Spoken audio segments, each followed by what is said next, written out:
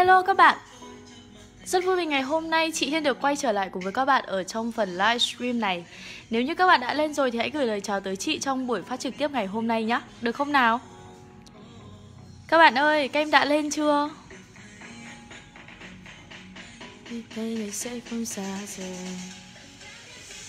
Các bạn lên chưa ạ? Xin chào các em Ngày hôm nay sẽ là một cái bài giảng cực kỳ quan trọng và chị tin là đây là cái bài giảng mà các bạn đã cần từ rất lâu rồi nhưng ngày hôm nay chị Hiên mới nói.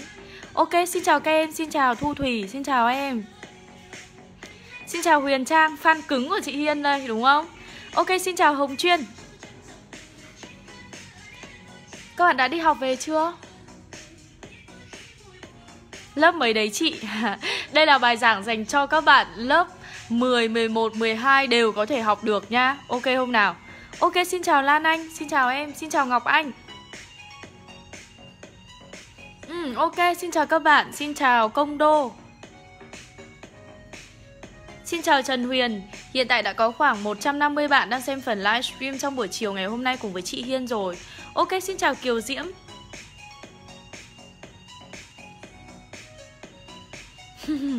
Có bạn nào muốn được điểm 9 văn không nào? Đó là mong ước của rất nhiều người đấy em ạ. Xin chào Lương Y Võ Xin chào em, xin chào Nga Lâm ừ. Các bạn ơi, giúp chị chia sẻ phần livestream này nhé Được không? Em vừa về à?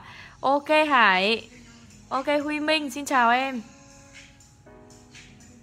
Để mai em nghe lại á À để về em nghe lại á Các em chuẩn bị đi học à?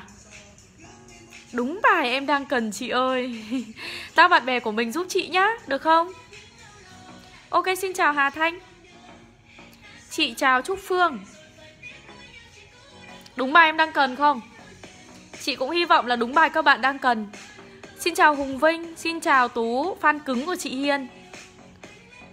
Quay về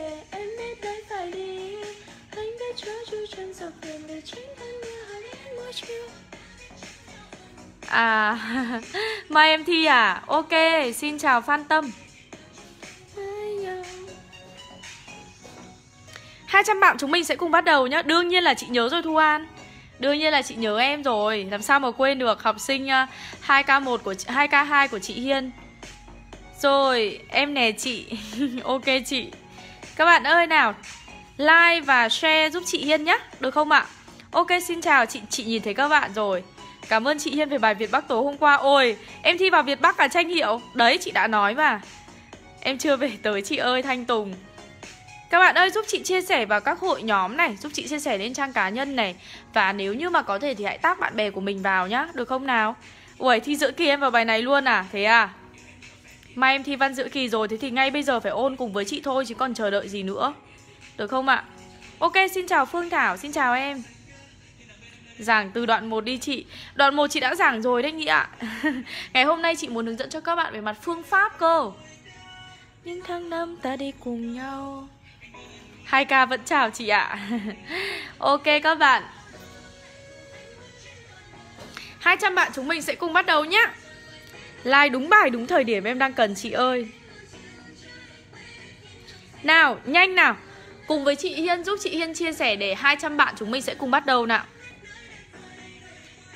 Sắp tới chị sẽ có ngày mai chúng ta sẽ bắt đầu cùng với nhau trong chiến dịch cùng viết mở bài đấy. Buổi sáng ngày hôm nay chị hơi mệt Thế nên là chị chưa bắt đầu cái chiến dịch đó cùng với các bạn. Ngày mai là chúng mình sẽ bắt đầu đấy. Thế nên là nếu như mà bạn nào mà chưa tham gia ấy Thì có thể nhắn tin cho admin fanpage học văn chị Hiên Để có thể vào group đó nha. Ok không nào? Nhớ chị ghê, chị cũng nhớ các bạn lắm. Các bạn ơi, nào cùng lên với chị. Xin chào Phương Nhung, xin chào em. Hello Quỳnh Như rồi, chị xin chào các bạn nhé. Xin chào Thiên Hoàng, 2K chào chị, chị cũng vẫn nhớ em luôn. Rồi, rất là nhiều bạn 2K Nếu như có thể thì hãy tác các em 2K3 vào giúp chị Hiên nha. Ok, xin chào Khánh Linh. À, nhanh học thôi lười quá rồi, phải không ạ? Chúng mình chỉ còn có hơn 200 ngày nữa thôi là bắt đầu bước vào kỳ thi vô cùng gian khổ sắp tới rồi. Chị biết được rằng là có rất là nhiều bạn bây giờ vẫn thản nhiên cho cái việc học Và các em nghĩ rằng bây giờ đã học làm gì cho nó tốn thời gian ra. Bây giờ cứ chơi đi cho sướng để đỡ tiếc. Nhưng mà chị thì chị nghĩ rằng là nếu như bây giờ mà các bạn không học ấy, Thì sau này người tiếc nuối sẽ là các bạn đấy. Bởi vì chúng mình có cái quỹ thời gian như nhau, Trong khi tất cả các đối thủ của mình bây giờ đang cực kỳ chăm chỉ rồi, Mà mình lại vẫn cứ nghĩ đến chỉ đến cái việc chơi và việc lười biếng, Thì chị tin rằng là đó sẽ là cái con đường ngắn nhất dẫn các bạn tới cái sự thất bại đấy. Thế nên là chị muốn là bản thân các bạn phải cố gắng và nỗ lực lên. Hãy chăm chỉ ngay từ bây giờ đi được không nào? Đừng có trì hoãn thêm bất cứ một ngày nào nữa Bởi vì mỗi ngày các bạn trì hoãn là các bạn đang mất đi rất nhiều thứ mà các bạn không biết đấy. Được không ạ? À? Ok xin chào Linh Nguyễn, xin chào Dương Minh. Dạy đi chị. À dục chị rồi. Chị đã nói rồi. 200 bạn chúng mình sẽ cùng bắt đầu nhá. Tham gia kiểu gì thế chị? À, một lát nữa các bạn cứ chủ động nhắn tin cho admin fanpage học văn chị Hiên nhá Để chúng mình sẽ cùng tham gia cùng với chị ở trong buổi sáng ngày mai nhá Được không nào? Đúng bài cô bảo ôn nè Ok, 200 bạn rồi Chúng mình sẽ cùng bắt đầu buổi ngày hôm nay cùng với chị nhá Trước khi bắt đầu buổi ngày hôm nay cùng với chị Xin phép cho chị Hiên được nói một vài điều này cùng với các bạn. Đó là nếu như bạn nào chưa biết phân tích thơ, Chưa biết phân tích văn xuôi, Chưa biết bạn làm bài văn nghị luận, văn học hay, Thì nhất định các bạn phải sở hữu cuốn sách này. Được không ạ? Đây là cuốn sách tuyển tập 40 bài văn mẫu trọng tâm của chị Hiên, Với giá đó là 139.000 Và đây là một cái cuốn sách siêu to khổng lồ cả về nghĩa đen và cả về nghĩa bóng nếu như bạn nào đang cần một cuốn sách để các bạn có thể ôn thi Trung học phổ thông quốc gia với những cái đề trọng tâm, với những cái bài văn viết sát nhất, với những cái liên hệ mở rộng rất là độc đáo, chất lượng thì các em có thể tham tham khảo cái cuốn này nhá. Được không ạ? Đây sẽ là cái phần đầu tiên chị muốn giới thiệu cho các bạn. Cảm ơn Hương Huế rất nhiều nhá. Cảm ơn em, cảm ơn em, cảm ơn em rất nhiều. Còn bây giờ thì chị sẽ quay trở lại với phần này ạ, cách phân tích thơ. Ok không nào? Phân tích cả bài luôn em nhé. Hãy mua sách để ủng hộ chị Hiên. Được không nào? Chị đang kêu gọi đấy. Hãy mua sách để ủng hộ chị Hiên. Rồi các bạn ơi. Nào bây giờ thì quay trở lại cùng với chị.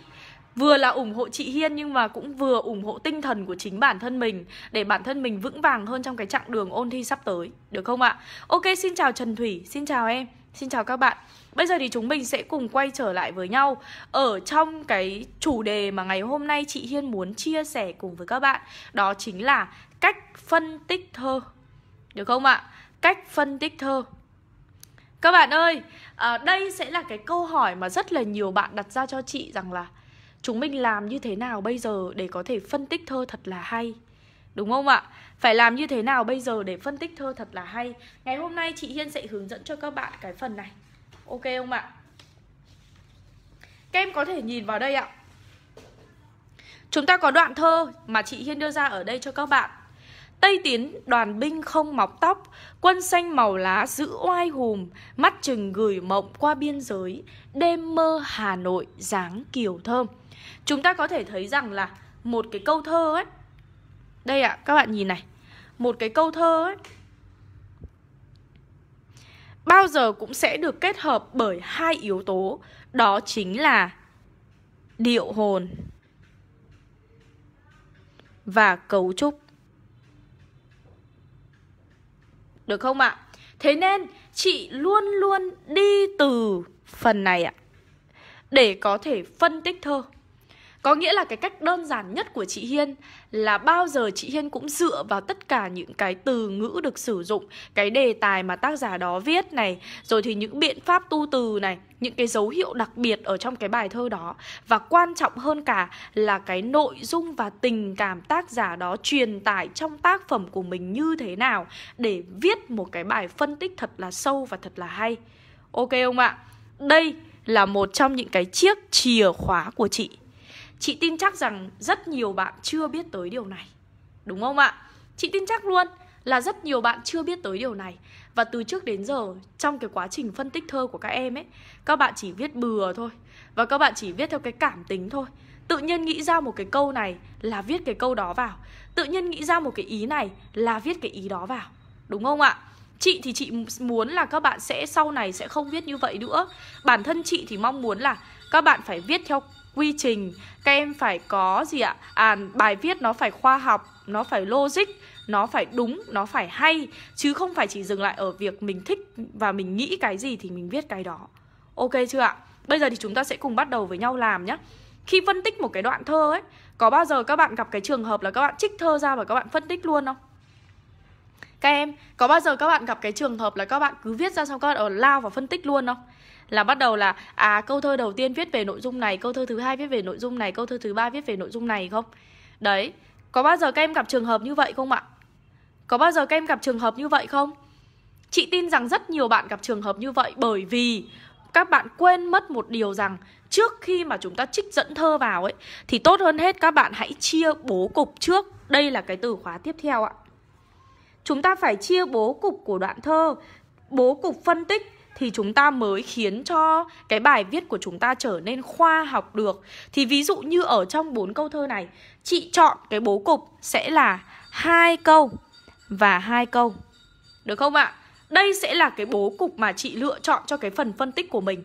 Khi mà mình đã lựa chọn được bố cục rồi ấy Thì mình sẽ tránh được cái trường hợp là Tự nhiên đang viết về ý của câu 1 nhảy sang câu 3 Đang viết ý của câu 3 nhảy sang câu 5 Thế đang viết ý của câu 5 chợt thấy cái ý của câu 1 thiếu quá lại viết lên câu 1 đó, cái vấn đề nằm ở chỗ là chúng ta phải xác định bố cục trước và chúng ta sẽ viết theo cái chiều xuôi của bố cục mà chúng ta đã xác định.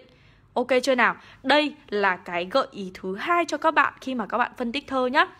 Tiếp tục, một cái lời khuyên nữa cho các bạn khi phân tích thơ Đó chính là chúng ta phải có cái phần dẫn dắt vào phần thơ Bây giờ chị chỉ đặt một cái câu hỏi đơn giản cho các bạn thôi Nếu như tôi coi cái đoạn thơ này là một món quà mà tôi dành cho người khác Thì đương nhiên là ai mà nhận được quà cũng thích là mình phải bọc quà hơn Đúng không ạ? Có ai thích là mình nhận luôn một cái điện thoại không? Mình sẽ thích, bản thân chị chị sẽ thích là người ta sẽ bọc cái món quà đó vào, sau đó người ta mang đến tặng cho mình. Hơn là cái việc là người ta chỉ tặng một cái quà không và vứt cái điện thoại trước mặt như vậy. Đúng không ạ? Đôi khi ấy, cái gì ạ? Cái món quà cho không bằng cái cách cho. Thế nên là trước khi mà các bạn trịnh dẫn ra hai cái câu thơ này để các bạn bắt đầu phân tích thì làm ơn, hãy cho chị một cái phần dẫn dắt để nó giống như là một cái tấm giấy gói bọc quà ấy, khiến cho món quà của chúng ta trở nên xinh đẹp hơn ok không ạ. Đây các bạn ơi, chị lấy một cái ví dụ như thế này. Đây là phần dẫn của chị Hiên ạ. Đây là phần dẫn của chị Hiên. Có một cái thông tin rất là vui cho chúng mình. Đó là sắp tới thì chị Hiên sẽ mở lớp cốt văn đầu tiên trong năm nay. Năm vừa rồi tiếp nối cái thành công của lớp cốt văn à, cho các anh chị 2K2 thì năm nay chị Hiên sẽ mở lớp cốt văn sớm hơn. Đây là cái lớp mà giúp cho các bạn có thể à, lập trình một cái bài văn nói theo cách gọi là hơi bị hiện đại một chút đó là chúng ta sẽ lập trình cái bài văn thật là hay thật là xuất sắc được không ạ? Thế nên nếu như mà bạn nào mà muốn tham dự cái lớp cốt văn của chị Hiên thì cũng có thể đặt slot trước nhá. Ok chưa nào? Các bạn ơi, các bạn nhìn vào đây ạ. Đây sẽ là cái phần dẫn dắt của chị Hiên này. Đây được coi như là một cái tấm giấy bọc quà để chị bọc cái món quà đó trước khi mà chị dẫn ra hai cái câu này. Được không ạ? Chị có một cái phần dẫn dắt như sau ạ. Chiến tranh đã qua đi, tấm áo hòa bình ấp ôm mảnh đất hình chữ S đã được nhiều thập kỷ. Hàn gắn được phần nào bao vết thương đớn đau mất mát hy sinh của thời lửa đạn.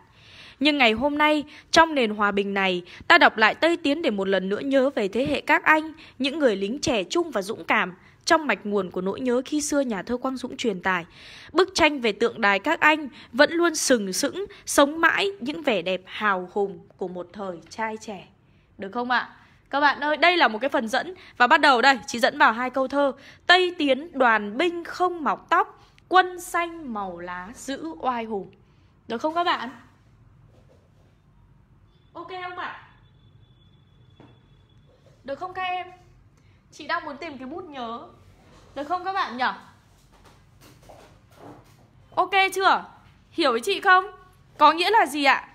Có nghĩa là chúng ta phải thêm một vài cái câu dẫn trước khi mà chúng ta trích thơ ra Thay vì cái việc là các bạn cứ trích thơ ra xong các bạn phân tích luôn, Thì bản thân chị nghĩ rằng là tốt hơn hết, Các bạn hãy viết cái phần này ra trước Tức là các em phải có một cái câu để dẫn vào cái phần này được chưa ạ? Chính xác đấy ạ. Sắp tới chị sẽ có lớp cốt văn nhá. Sắp tới chị sẽ có lớp cốt văn nhá. Và chị chỉ tuyển số lượng có hạn thôi. Đương nhiên là sẽ không thể nào mà có quá nhiều bạn tham gia được Bởi vì như thế thì chị sẽ không kiểm soát được chất lượng. Bản thân chị thì chỉ muốn là có một số lượng bạn có hạn để chị rèn luyện cho các bạn đấy về cách viết thôi. Cái lớp này thì sẽ trọng tâm vào cách viết nhá. Thì đây các bạn nhìn này. Đây, đoạn này ạ. Đây chính là phần chị dẫn dắt ạ Chị sẽ kẻ vào đây để cho các bạn nhìn thấy này Ok chưa? Mình phải có phần dẫn dắt nhá không thể nào mà đem một cái món quà mà mà không gọi là không ờ, không thể nào đem tới cho người ta một cái món quà mà không bọc món quà đó lại được. Đây là lời khuyên của chị dành cho các bạn đấy. Ok chưa? Rồi, nói chung là học phí sẽ rất là hạt rẻ. Đấy nói trước là như vậy để tối ưu à, để tối ưu cho các bạn. Ok không ạ? Rồi, tiếp tục này. Sau khi xong nhá, bây giờ chúng ta chị sẽ hướng dẫn các bạn bắt đầu phân tích thơ này. Thế thì có những cái lời khuyên mà chị dành cho các bạn là gì? Thứ nhất, phải bám vào một là cảm xúc chủ đạo nhà thơ truyền tải là gì, nội dung truyền tải là gì và bám vào câu chữ, biện pháp tu từ mọi cái gì ạ? Ở từng từ từng chữ ở trong cái đoạn thơ này. Cái thứ hai là chúng ta phải chia bố cục đoạn thơ trước khi chúng ta phân tích để làm cho cái bài viết khoa học hơn. Và cái số 3 là trước khi đề thơ vào để phân tích thì phải có một cái phần dẫn dắt trước. Được không ạ? Nhá, lưu ý giúp chị. Phần kiến thức nền, à, lớp kiến thức nền là lớp mà chị đào sâu về việc là chúng ta sẽ học những cái kiến thức về các tác phẩm. Thì cái lớp cốt này sẽ là cái lớp mà giúp cho các bạn lập trình những cái bài văn, tức là hướng dẫn chỉ tay cho các bạn viết những cái bài văn luôn, với cái từng đề luôn. Ok chưa nào? Nhá. Rồi các bạn ơi, đây ạ. Tây tiến đoàn binh không mọc tóc, Quân xanh màu lá giữ oai hùm, Mắt chừng gửi mộng qua biên giới, Đêm mơ Hà Nội dáng kiều thơm Thì ở đây các bạn sẽ thấy này, Chúng ta sẽ có này. Ở đây các bạn sẽ thấy nhá.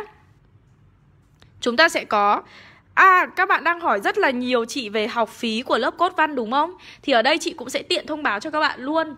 Lớp thì chưa mở đâu, Nhưng mà mức học phí cho lớp cốt văn Ở khóa đầu tiên này sẽ là 499.000 cho 10 buổi liên tiếp các bạn nhé. Và các bạn yên tâm với chị đi ạ. Sau 10 buổi này trình độ viết văn của các bạn sẽ lên một cái level khác nếu như các bạn chăm chỉ. Được không ạ? Chị đưa luôn ra mức học phí ở đây công khai luôn cho các bạn. Được không nào?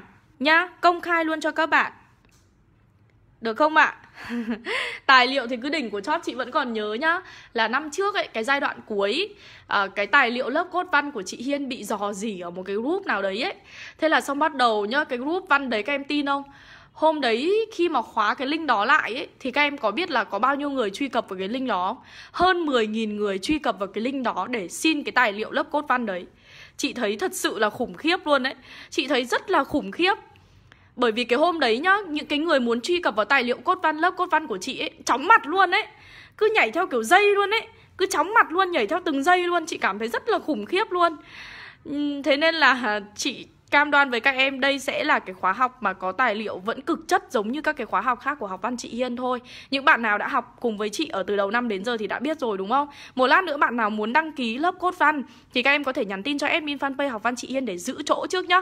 Bởi vì chị thì chị dự tính là lớp này chị sẽ chỉ lấy số lượng có hạn người thôi.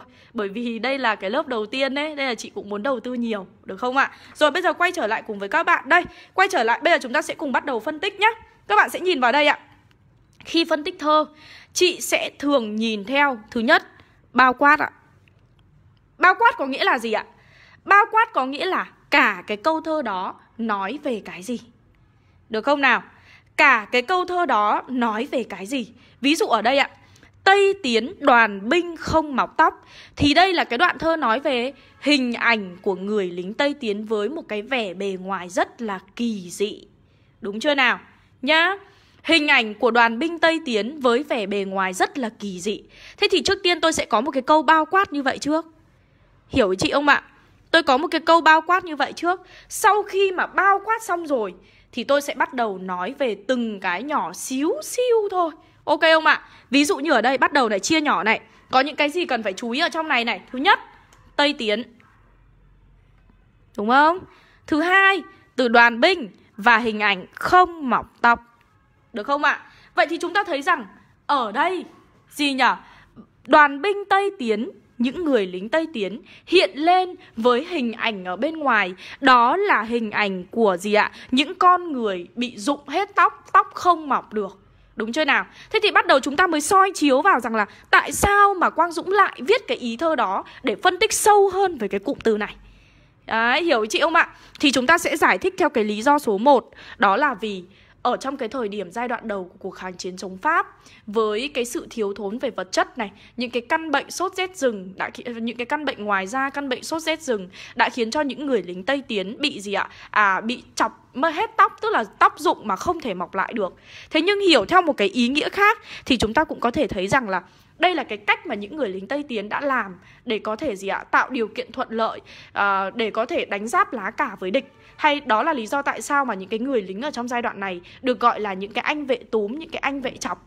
Thế nhưng mà nếu như chỉ dừng lại phân tích ở hai cái cụm từ này, thì chúng ta sẽ thấy là cái từ này cũng chính là cái từ mà chúng ta cần phải cực kỳ để ý. Nếu như hình ảnh không mọc tóc gợi ra một cái hình ảnh rất là kỳ dị và ốm yếu, bởi vì chỉ có bệnh tật thì mới không mọc tóc thôi. Thế nhưng mà quang dũng lại rất là hay ho khi mà sử dụng từ đoàn binh ở đây để cho chúng ta thấy được cái khí thế, cái tinh thần, cái sức mạnh của một đội quân trong cái thời điểm lúc bấy giờ đúng không ạ thế nên đây ạ, ví dụ như ở trong đoạn này, chị có thể phân tích câu thơ như sau bắt đầu các bạn nhé đây ạ, chị dùng cái bức, đây, câu thơ đầu tiên để nói về khái quát đoạn thơ đó đây Bức tượng đài bằng thơ về các anh vẫn luôn sừng sững, sống mãi với vẻ đẹp hào hùng của một thời trai trẻ. Như sau ạ? Nhà thơ dùng từ đoàn binh để khẳng định một lực lượng đông đảo. Đoàn binh Tây Tiến là đội quân mạnh và hừng hực khí thế, đầy hiên ngang và tự tin. Nhịp thơ như nhịp bước chân hành quân của người lính Đưa ta đến gần hơn với bước chân dung về các anh Từ ngoại hình bên ngoài đến cảm xúc Ý chí nung nấu trong tâm can. Đó là những con người Đó là những người lính đầu không mọc tóc Da xanh màu lá. Ấy là sự ngụy trang để phòng quân địch Nhưng chân thực hơn Ấy là sự tàn phá của bệnh tật Của hoàn cảnh sống thiếu thốn trăm bề nơi rừng thiêng nước độc, nơi chiến trường xa xôi, binh đoàn Tây Tiến, làm sao có thể tránh khỏi những cơn sốt rét rừng, những lần thiếu thốn thuốc men, lương thực, khó khăn cứ nối tiếp khó khăn, sự khắc nghiệt ấy vẫn luôn thử thách ý chí của những người lính trẻ như thế. Được không ạ? À? Thế thì các bạn ơi, bây giờ chị sẽ lại nói với các bạn một cái nữa này. Sau khi mà chị phân tích hai cái câu thơ này xong thì chị chợt nhận ra là ở trong cái ý nói về những cái sự thiếu thốn gian khổ của những người lính Tây Tiến ấy. Được không ạ? À? Ở trong những cái ý nói về sự thiếu thốn gian khổ của những người lính Tây Tiến ấy thì chị lại liên hệ và mở rộng thêm vào đây ạ. Và đây là cách mà chị Hiên liên hệ mở rộng. Hôm nào ấy được không nào? À, hôm nào mà rảnh hơn một chút thì chị sẽ hướng dẫn với các bạn cách liên hệ mở rộng nhá. Nhưng mà ở trong đây thì chị cũng có đưa ra một cái câu liên hệ mở rộng như này để nói về cái hoàn cảnh khó khăn và khắc nghiệt của những chiến binh Tây Tiến trong những cái năm tháng đó. Ok chưa nào? Khó khăn cứ nối tiếp khó khăn, sự khắc nghiệt vẫn luôn thử thách ý chí của những người lính trẻ như thế. Cuộc đời gió bụi pha xương máu, đói rét bao lần xé thịt ra, khuôn mặt đã lên màu bệnh tật, đâu còn tươi nữa những ngày hoa. Được không ạ? À? à thế thì rõ ràng cái đoạn này là cái đoạn tương đồng để nói về cái sự khổ cái gì ạ? Cái sự khó khăn vất vả của những người lính Tây Tiến trong giai đoạn đầu. Thế nên chị đã đưa vào để mở rộng thêm vấn đề. Đúng không ạ? Sau khi phân tích cái ý là những cái gian khổ mà người lính Tây Tiến phải vượt qua với cái bộ dạng bên ngoài, với cái hình dạng bên ngoài, hình dáng bên ngoài là tóc không mọc này, da thì xanh xao này thì chị tiếp tục phân tích khẳng định lại một cái ý sau đó là sử dụng thêm cái từ đoàn binh và cái từ giữ oai hùm để thể hiện cái sức mạnh của chiến binh Tây Tiến một thủa. Ok không ạ? Thì ở đây chị bắt đầu phân tích như sau. Nhưng ở đây, giọng thơ Tây Tiến lại sực sôi khí thế, căng tràn ý chí, viết về gian khổ khó khăn, nhưng nhà thơ Quang Dũng vẫn luôn song hành đem đến những vần thơ đầy quyết tâm, giữ oai hùng. Nét hào hùng được nhấn mạnh giữa một uh, được nhấn mạnh giữa một hiện thực nhiều gian khổ, tô đậm những hình ảnh chân thực, nhưng đó cũng là cách nói dí dỏm hóa, vui tươi hóa của Quang Dũng về những người đồng đội của mình. Giữ oai hùm là hình ảnh khẳng định tinh thần vượt lên khó khăn vì mục tiêu chiến đấu phía trước, bệnh tật thiếu thốn, không thể đánh bại ý chí quyết tâm của những người lính Tây Tiến. Nhất là từ khắc họa một hiện một rất độc đáo về người lính đang chiến đấu nơi biên cương tổ đồng thời phản ánh hiện thực gian khổ thiếu thốn bệnh tật nơi chiến trường một hình ảnh ẩn dụ để gợi cả chất kiêu hùng, cách viết đối lập giữa cái yếu đuối về thể chất, xanh sao tiểu tụy, đầu không mọc tóc, da thì xanh màu lá, với sức mạnh của tinh thần, ý chí ngang tàng, lẫm liệt, sức mạnh giữ oai hùng quang dũng đã đem đến những nét phác họa đầu tiên về người lính tây tiến, rất hào hùng, dũng cảm và lạc quan. Được không các em? Ok không ạ? Hai câu thôi đấy ạ. Chỉ hai câu thôi nha các bạn nhé Vậy là ở trong hai cái câu phân tích này, Chị Hiên đã làm gì rồi? À ở trong hai câu phân tích này thì chị Hiên đã làm rất là nhiều thứ rồi các em ạ. Trước tiên này, chị dùng một cái câu dẫn dắt để dẫn vào hai câu thơ, đấy là cái số 1. Cái số 2, chị làm gì ạ? À chị bắt đầu phân tích đi vào cái từng một cái gì ạ? Chị phân tích bao quát trước Đúng không? Sau khi phân tích bao quát xong Chị bắt đầu phân tích từng ý nhỏ xíu một Đúng không? Sau khi phân tích từng ý nhỏ xíu xong Chị Hiên làm gì? À sau khi phân tích từng ý nhỏ xíu xong Thì chị bắt đầu gộp nó lại và trong song song với đó Chị còn liên hệ và mở rộng nữa cơ Được không ạ? Các bạn thấy không? Chỉ với hai câu thơ thôi mà chị làm được rất nhiều thứ Tương tự như vậy đối với những cái câu thơ khác Thì chị cũng mong rằng là bản thân các bạn cũng sẽ làm được nhiều thứ như thế nữa Được không ạ? Chị cũng mong là các bạn sẽ làm được nhiều thứ như thế nữa Các em ơi, các em có vỡ ra được điều gì không? Các bạn có vỡ ra được điều gì không? Nói chị nghe nào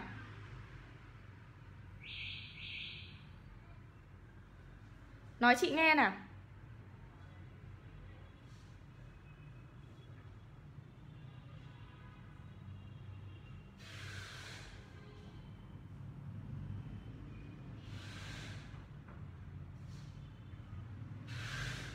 Các bạn ơi, nói chị nghe nào. Nói chị nghe nào.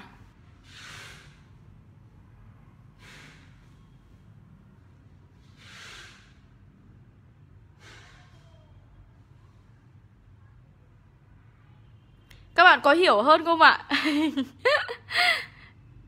các bạn ơi, các bạn có hiểu hơn không ạ? Có vỡ ra được chút nào không? Khó quá chị ơi à Đương nhiên rồi ở Cái phần mà chúng ta Cái phần mà chúng ta được học ấy Chúng ta lĩnh hội được ấy Nó chỉ là một cái phần rất nhỏ thôi Còn quan trọng hơn là gì? Quan trọng hơn là chúng ta còn phải chuyển ý Còn phải khái quát Còn phải rất là nhiều thứ nữa Thì mới có thể viết được Đúng không? Còn phải rất là nhiều thứ nữa thì chúng ta mới viết được, chúng ta mới làm được, đúng không nào? Thế nên là chị mong rằng là bản thân các bạn ấy sẽ chăm chỉ hơn. Đương nhiên là trong khuôn khổ của một cái buổi phát trực tiếp cùng với các em khoảng chừng 30 phút ấy, thì các bạn không thể nào mà các bạn nắm bắt hết được tất cả mọi thứ, được không ạ? Nhưng mà chị tin rằng là cũng giúp cho các bạn định hình ra được một số thứ rồi, phải không nào? Chị mong là các bạn sẽ có thể xem đi xem lại cái phần livestream này. Còn đương nhiên là Toàn phân tích xong mới liên hệ à? À đó ok Tức là cái phần nào mà liên quan ấy Là chúng mình có thể liên hệ luôn Được không ạ? Cái phần nào liên quan thì chúng mình có thể liên hệ luôn Hiểu chị chưa? Thấy bài làm của mình còn nhiều thiếu sót à? À vỡ ra được một xíu siêu à? Ok các bạn nhá à, Buổi sau chị sẽ hướng dẫn các bạn về cái phần chuyển ý nếu như mà các bạn mong muốn được không ạ? Còn ngày hôm nay thì trong khuôn khổ phát trực tiếp cùng với các bạn Chúng mình sẽ tạm dừng tại đây nhá Đương nhiên là ở trong khóa học cùng với chị ấy Thì chúng mình sẽ làm được rất rất rất rất là nhiều thứ Được không nào? Chúng mình sẽ làm được rất rất nhiều thứ cùng với nhau Bởi vì chúng ta có nhiều thời gian hơn với nhau Ok không ạ? Thế nên là chị rất là mong bản thân các bạn à, có thể uh, chọn một cái khóa học nào đó cùng với chị Yên để tham gia cùng với chị trong cái hành trình này nhá. Còn ngày hôm nay thì cảm ơn các bạn rất nhiều vì đã lên xem phần livestream này cùng với chị. Uh, chúc các bạn sẽ có một buổi tối đầu tuần thật là vui vẻ nhá. Còn bây giờ thì xin chào và hẹn gặp lại các bạn. Tạm biệt các bạn nha. Bye bye.